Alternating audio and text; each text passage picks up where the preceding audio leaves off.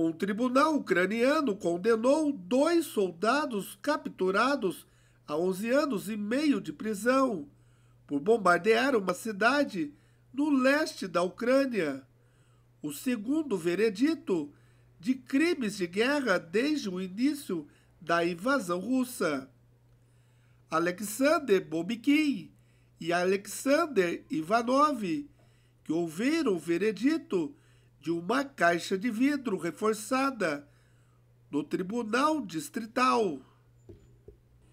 Eles se declararam culpados na semana passada.